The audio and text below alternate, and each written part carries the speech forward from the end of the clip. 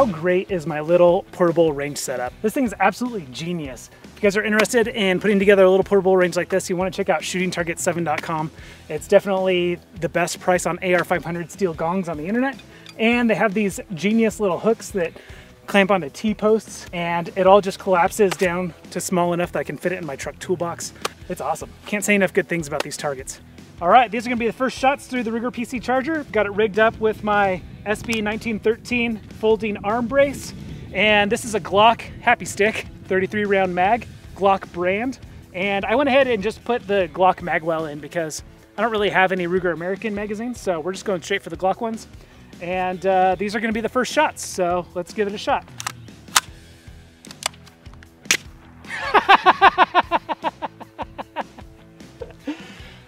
okay. So it didn't lock in. There we go.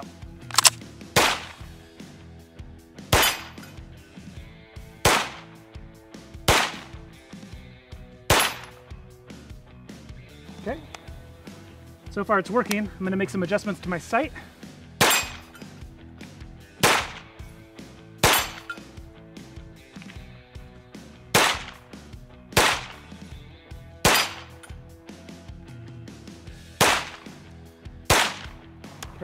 Seems to be a little low.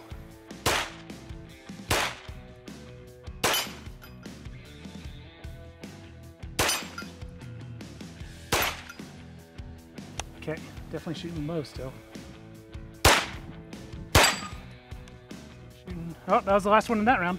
So, no malfunctions with the Glock mag. That was uh, Winchester white box Walmart ammo, and I figured I'd start with the Glock OEM magazine because I figure this thing's made to take Glock magazines. We need to start with the OEM. So I've got some aftermarket ones to check, as well as some other ammo. Hopefully within this next mag, I'll be on target and we could do a little more exciting shots. All right, this is a KCI Korean-made Glock magazine copy. And the guys at J&G Sales say that these things are really close to a factory Glock magazine. Factory Glock magazine will run you about 40 bucks. This one will run you closer to like 15 bucks. So I'm all about if we can get something to function that costs less than half the price, you know, that's what my channel is all about. So a cool thing about this PC charger is that they've made it so you can set it up ambidextrously, okay? So this charging handle can actually be moved to the other side right there. And same with the mag release. Now, even though I shoot left-handed, I actually make it a point to learn how to operate firearms as they come from the factory, even if they're optimized for right-handed people. Also comes from the factory with this UTG hand stop to prevent your hand from going in front of the muzzle, which I super appreciate, which is fitting really, because I'm using a UTG quick release mount for my Vortex optic right there.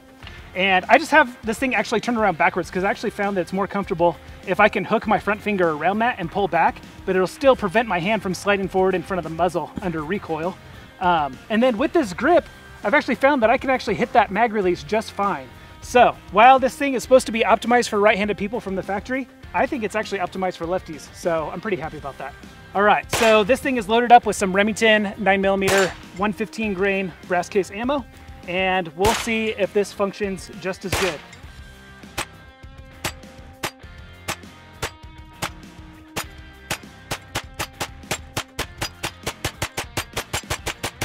All right. Well, that obviously functioned just fine. And like I said, without moving my hand, drop that mag free. If I had another one, I'd be ready to go. All right, I've got two ETS magazines. I love these because they're clear so you can see the ammo that you have in them. I have a 30 round and a 20 round. 30 round is loaded with S&B, uh, 124 grain brass case ammo. And then this 20 round is actually loaded half with Remington and half with Winchester. And the reason why I did that is because ETS magazines are not known to be the most reliable magazines, even in Glocks. And this is obviously not a Glock, so if there's any magazine that's not gonna be reliable, it's probably gonna be this one. So I wanted to try it with different ammo, just to see if there is an ammo that this magazine likes, um, or if the gun likes it at all with any ammo. Um, so we'll go ahead and start with the 30 rounder with the S&B 124 grain. Well, that was 30 rounds, no problem. Throw in another one. All right, first 10 rounds are going to be Remington, second 10 rounds are Winchester.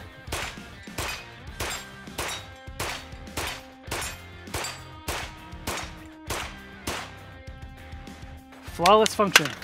All right, that's all the cheapest ammo that I have. I love that this thing has been 100% reliable. You know, between those four mags, we've shot, you know, well over 100 rounds, 110 rounds. I didn't take this gun apart and clean it at all. Um, I did wipe away some of the excess oil and then I added a couple of drops of oil, but I did that without taking it apart. So far, man, I'm impressed. Now the optic that I have on here is the Vortex Crossfire one to four. I can't imagine a better optic for this gun. I mean, I imagine most people are gonna be using this for CQB style uh, training as well as, you know, tactical plinking and home defense. So you definitely want something that has the option to do zero magnification. But uh, a lot of people have been putting red dot sights on this. And the reason why I didn't is because there's just not a lot of rail here to put up backup iron sights on, okay? By the time you stick on your red dot and then you might have room for some sights in the front and back, but even still, that's a pretty narrow sight picture considering the barrel extends all the way out to here. So I don't know why Ruger did not put a rail on top here. That kind of drives me bonkers a little bit. I think that's the one improvement that I would make is I would like some iron sights to come all the way out to the muzzle. Now because I'm not running a red dot because I wouldn't be able to do backup irons, that's always my fear with red dots is that when the battery goes out, then you have nothing, right? But this, obviously it illuminates, so it's great for low light settings. But if your battery runs out, you have standard crosshairs, so you can still aim and fire this thing, right?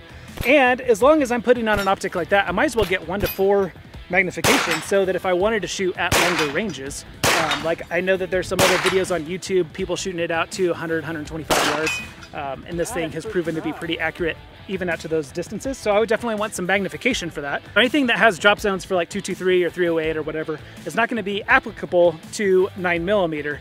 So you're basically not paying for features that you don't need, okay? It's just a basic crosshair and it illuminates and it's got magnification. The one by magnification is a true one by, so you can shoot both eyes open. That's what I've been doing this whole time. And if you want more information on this, it is in my video on best budget AR optics, so definitely check out that video next. So what I'm doing here is what I'm gonna call the last of my reliability tests.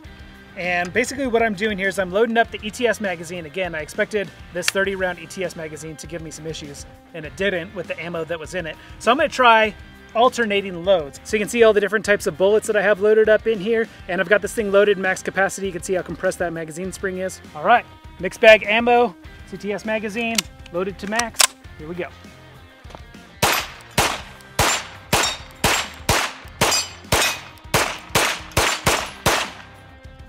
Ah, there's a jam. All right, let's the malfunction.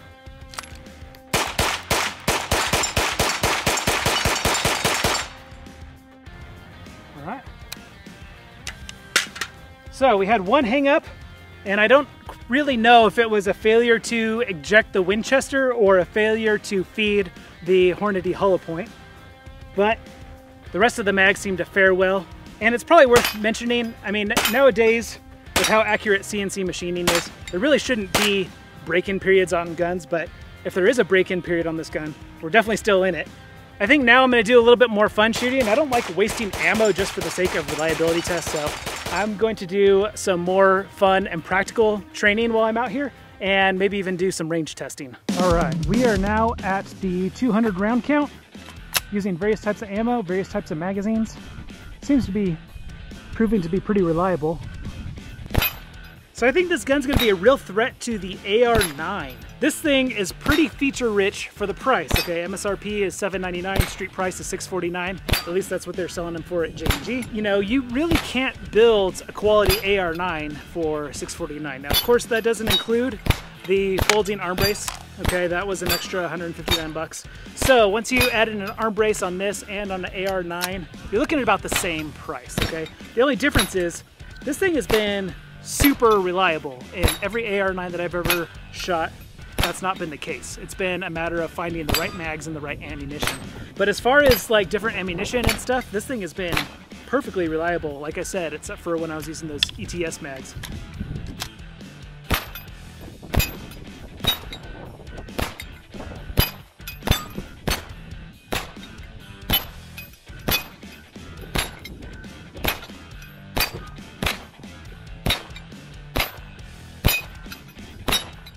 I'm definitely getting better with this thing. As you can see, I'm not exactly on the most level terrain. Walking back and forth between this ravine, all this trash around here. I'm still getting shots on target, despite focusing on peripheral vision here. If you like this gun, you better like loading magazines, because loading up these four magazines, it's just taking forever. And you go through it so fast. I do want to thank J&G Sales for lending me this firearm for review. It's the only one they have, so, and I'm keeping it. so I'm not promoting the sale of this firearm from J&G Sales because if you go there, they don't have any more because they had their only one and they gave it to me. That's why I love J&G Sales. They take real good care of me. But it is worth mentioning that they are open for business during this crisis and they were the only people in town that had 9mm ammo for sale. They have some boxes that they are selling over the counter only, so if you're a local, um, you might want to stop in there and see if they have any. I know all the other shops in town are sold out. Nope, not quite there yet. I also want to mention this SB Tactical 1913 folding brace. Um, they didn't have those at J&G, so I actually ended up ordering one online from Joe Bob Outfitters. And I ordered it Monday morning when I picked this thing up, and it was at my house on Wednesday which is crazy. So when every other online distributor is saying that they're 10 days out from shipping your orders, uh, they shipped mine the same day. So thank you J&G, thank you Joe Bob Outfitters. Uh, no links in the description because they sell guns and I don't want to be accused of promoting the sale of a gun here on YouTube. All right, so I've backed it up. Most of that shooting was done in the 15 to 20 yard range. I've backed it up to 50 yards. I've adjusted a little bit of magnification into my scope and I'm just gonna see what I can do offhand at 50 yards, see if I can still ring some steel. Um, one thing that I love about this gun is the trigger is actually really nice. Um, I don't have a trigger gauge. I would guess that mine's probably around a four pound pull. I know they're shipping kind of anywhere between like four to six pound pull. Mine definitely feels lighter. It feels plenty crisp and it's got a really positive reset. Very crisp positive reset. Very crisp, crisp, clean break there. I love it. And that's partially because one of my first guns I ever owned was a Ruger 1022, and they're actually using 1022 components in these triggers. So you can buy your favorite 1022 match grade trigger components, slap it in this thing. All right, let's see if we can't ring some steel at 50 yards.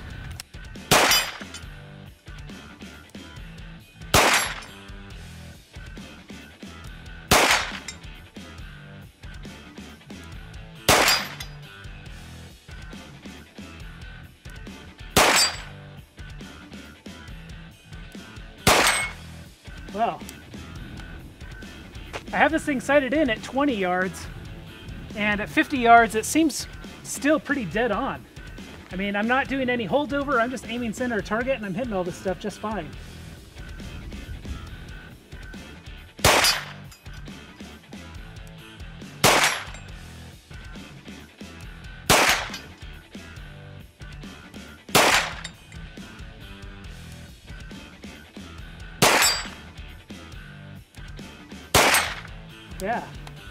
Four inch gong, 50 yards, doesn't seem to be a problem. I kind of want to go back a little bit further now and see what I can do. All right, so we're about 75 yards out now, and I'm going to be shooting through some brush. And I don't know what my holdovers are on this thing yet, so I don't know if I'll be able to ring any steel from out here. So we'll just see how I can do offhand at 75 yards, see if I can still ring some of the steel. All right, got that one. I think that was a miss. Missing. I don't know where I'm heading now. That was a hit.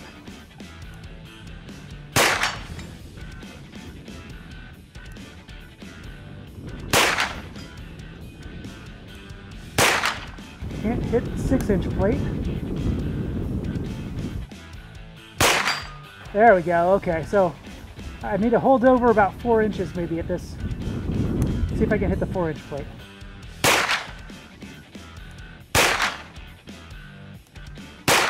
There it is. All right. I did eventually hit them all. There it is.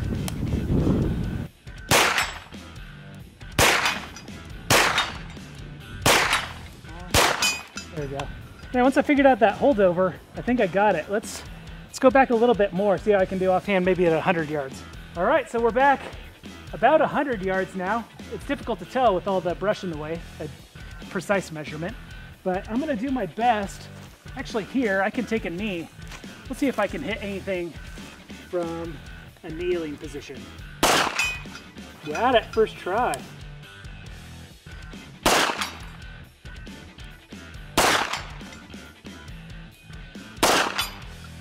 Hard to hit that six inch plate.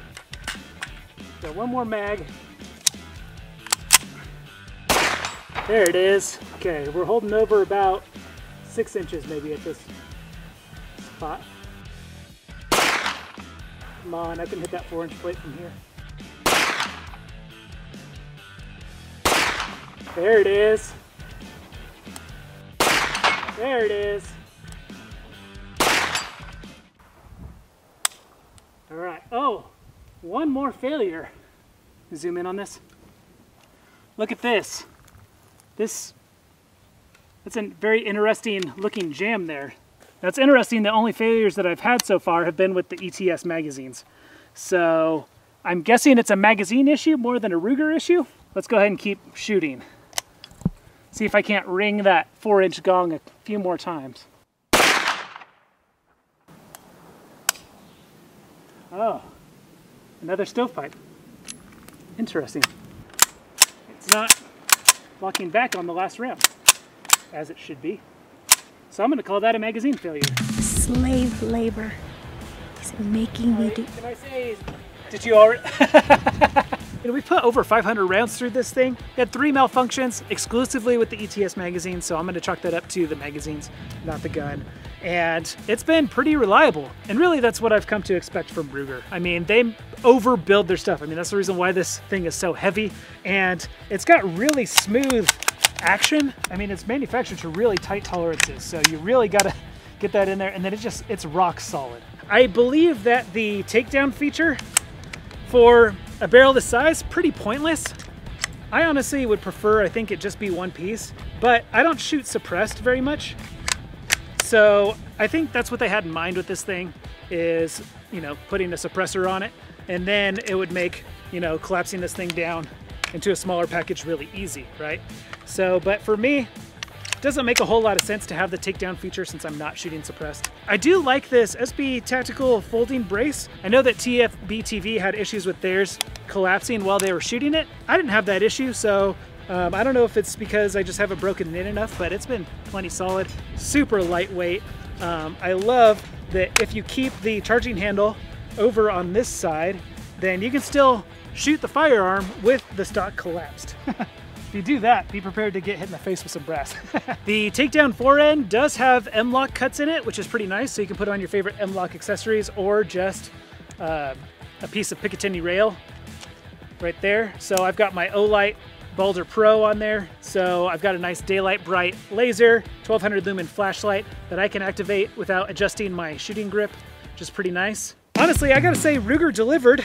I mean, we asked them to and they did it. Maybe you know of a better platform for a pistol caliber pistol. Um, I don't think that an AR-9 is better than this. I've heard good things about a CZ Scorpion. Um, what this thing has over the Scorpion is the ability to take Glock mags. Okay, Scorpion mags are not cheap, they're not plentiful, but Glock mags are certainly cheap and plentiful.